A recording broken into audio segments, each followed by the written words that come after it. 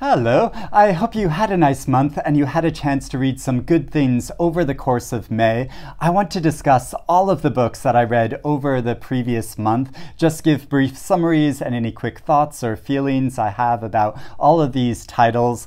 I read six books in total and some short stories, uh, although one of these books I adored so much I reread it in its entirety from beginning to end. So I'll get into that in a little bit. I was quite busy um, with some work this previous month, and also I went on holiday for over a week. I did get some good quality reading time because we had a number of train journeys, but obviously during the day we were out in the countryside or, or in the city um, just enjoying ourselves. And you know, I really enjoy reading short stories aloud to my husband. So I did read him a number from the new Granta magazine, uh, the Best of Young British Novelists issue, the most recent one.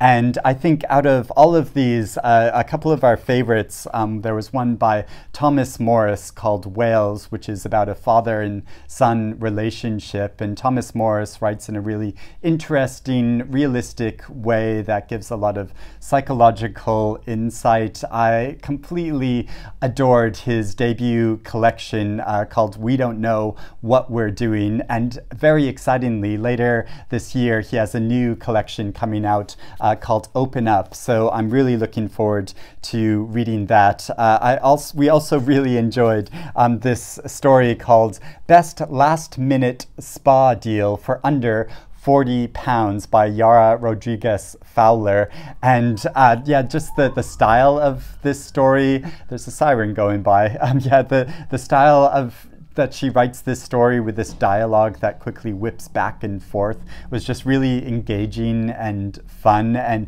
made me really want to read um, her most recent novel called There Are More Things, um, which I've been slightly hesitant about because I'd read or I'd started reading her debut novel and just didn't really get on with it. But this really made me want to return and try more of her work. Um, also, on my own, um, I've been in the early in the morning. Um, I've been reading some short stories from this collection called Gods of Want by K. Min Chain, um, which came out last year and has the most beautiful cover. Um, look at how this spreads out like this. Um, it's so gorgeous. And these stories um, are about family and families and queer relationships, but give such a interesting angle on them. They're they're almost kind of gossipy, but in a really intelligent and engaging way. I'm looking at family life in kind of expressing all of the opinions and stories of different family members, um, not necessarily giving any names, but designating the the relationships between all of these family members, and that somehow builds up in a way which is much more true and and gives almost like a bodily sense of these different family members. Some of them are living, some of them are dead, but just how they're is a presence of these families that are crowding together in these spaces and kind of impinging upon the life of um, the, the central character in a way um, which is partly loving and partly annoying. And so just feels really true to life. And uh, they're, yeah so they're kind of fantastical um, but also give this like strong sense of family life in the real world. Um, really compelling, really interesting. So I'm looking forward to finishing this collection. Also, just this morning, I finished reading Caleb Azumah Nelson's new novel, Small Worlds. And this author writes in such a sensitive and moving way about his characters' interior lives and the way they relate to people and the larger world around them. Uh, it follows the story of Stephen in the early 2010s when he's making the uneasy transition uh, from teenage his teenage years to his young adulthood. Um, he's just going away to university for the first time, and it's uh, following summers in over the course of these three years, which is this period these periods of like great opportunity, but also great change, um, which is exciting, but also scary and uncomfortable and difficult. And I think any young people could really relate to this story or people who have had really struggled in that tricky transition period um, between their teenage years and young adulthood, which is really scary. You don't know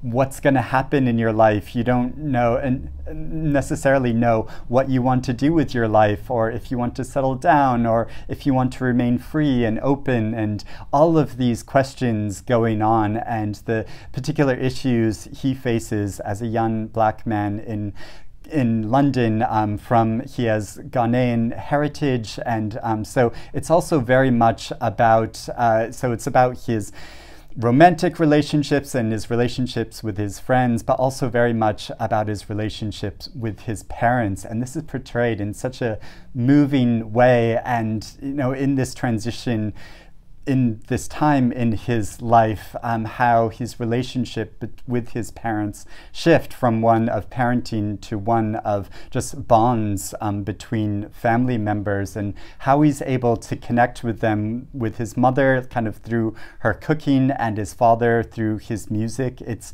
portrayed in such a, a moving way, and um, and the the tension, especially between him and his father, and how they're not able to relate to each other in some ways. Um, it's, it's so well done. And by the end of the novel, I was just completely swept into this story. Um, he makes a really interesting narrative shift later on in the novel. Um, so most of the novel is told in the first person, which is very different from his debut novel, uh, Open Water, which is all in the second person. But then there is a shift to the second person later in the novel, but where in his first novel Open Water, I felt like this was a way of really exploring the um, the, the selfhood of this young man and how he was seeing himself from the outside while also inhabiting um, this this body. And but in this novel, it's the second person is used as a way of uh, uh, creating this empathy between father and son um, in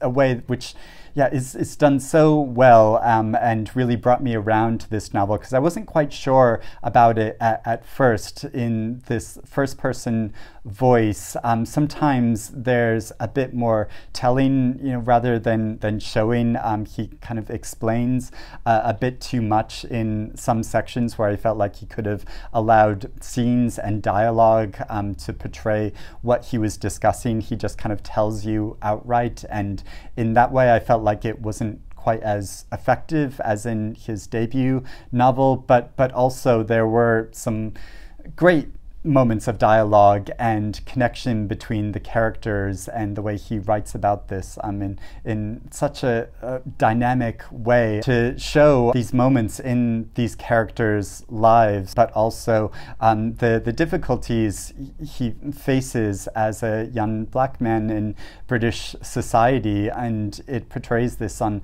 a number of different levels that um, I found very effective. Also, it was wonderful. I got to see um, the author speak at Brixton Library, and he was actually interviewed by his sister. And this made it such an interesting conversation because they were they tried to have this formality in the, the their Q and A's with each other, but all obviously had um, this connection with each other and familiarity with each other. And um, so it made the, the conversation really engaging um, to, to listen to. And, um, and as he was talking about this novel and wanting to open out spaces for him and um, his family and friends and community um, to, to create these spaces where they could really be themselves. He broke down in tears, and it was just such a, a, moment of um, such sensitivity and openness and honesty um, that I found it really moving. I also read this quite big novel, In Ascension, by Martin MacInnes, and I read it twice because uh, I was so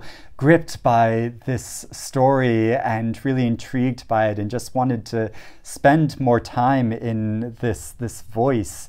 Uh, the the the narrator of this is a woman who is a scientist, and she's really fascinated with the origins of life, but also the um, the the questions uh, to do with our our universe and the the workings of our planet and how she does this on a number of expeditions um, which search into the the bottoms the deepest depths of the, the ocean and what she and a team of scientists discover there and how this leads to advancements um, that allow them to go to the furthest reaches of outer space and how this opens up a sense of, of wonder uh, about the world and our universe and life and the meaning of life um, is so wonderful and, and touching. I, I this, this novel does touch uh, a lot on, on some of my favorite geeky subject matter of, of things to do with outer space and, um, and, it, and uh, there's a section in it sort of um, where it references the, the Voyager expedition where um, you know we sent out um, this probe into outer space um, to take pictures, but also its continued traveling out into the, the universe and how he brings that into the story uh, is so wonderful. Um, it, just like inspired the sense of awe in me and made me want to, to keep reading about it and um, and to, to read around it and discover more uh, like about our world, but also get in contact in the, the with the natural world um, in a way that I don't often do because I live in the city and, and you know, so I'm kind of cut off from it. And um, yeah, so it made me want to like immediately escape back out into the country to, uh, to explore um, the stars and the sky and um, to, to spend time swimming in the ocean and just, just learn to love our, our world again. And I know that sounds really schmaltzy, but it, it really inspired this, this sense in me. And I just think it's such a wonderful novel. I also read another book from from the Women's Prize uh, shortlist, uh, Black Butterflies by Priscilla Morris, which is a debut novel uh, beginning in uh, the year 1992 in Sarajevo as the siege of the city is beginning and um, the the the central female character who's an artist um, she finds herself trapped in this city, um, her husband and her mother have left for the English countryside to stay with their daughter, and um, she thinks she's going to, to join them, um, but then as tensions escalate, um, she's not able to leave the city and resources start to dwindle. Um, it's really harrowing following her journey.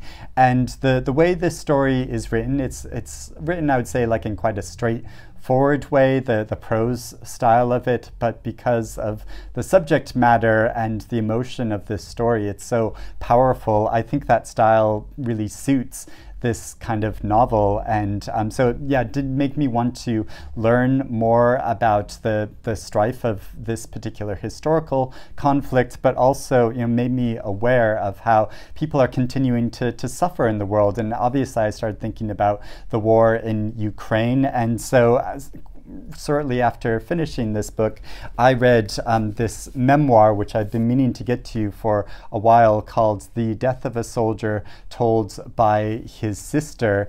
And uh, it does exactly what it says in the, the title. It's, it's a memoir about how the author lost her brother um, as he was fighting, fighting against Russian forces on the front line um, as a Ukrainian, and um, how this happened a decade ago.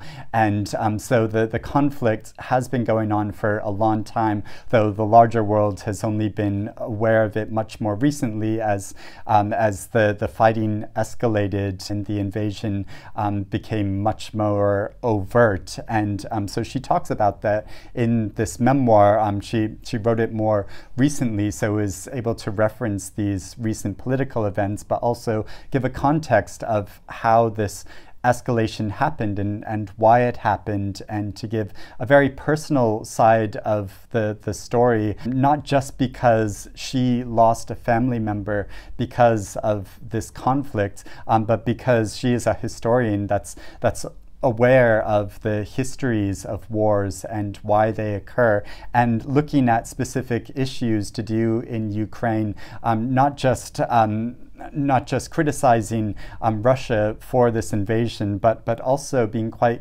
critical of bureaucracy in Ukraine and sexism that occurs in the, the military and um, how that is affecting um, this conflict, but is also, she's also quite critical of the the West and uh, the, the media's um, interest in the war, um, which only just occurred very recently, even though, as I said, this has been going on for a long time. Um, so this was a really interesting and moving memoir to, to read, both for the personal details and the larger context about the conflict that she gives. And she also incorporates some elements of uh, kind of folklore into the, the story in a surprising way, which is um, really touching and meaningful, um, which was also done in Black Butterflies and was also done in uh, another novel I read, Whale, um, by, by Cheon Myeong-Kwan, um, which was uh, shortlisted for the International Booker Prize. And you could say this is kind of like a collection of folklore type tales that are connected with each other, mainly looking at a mother and daughter um, relationship.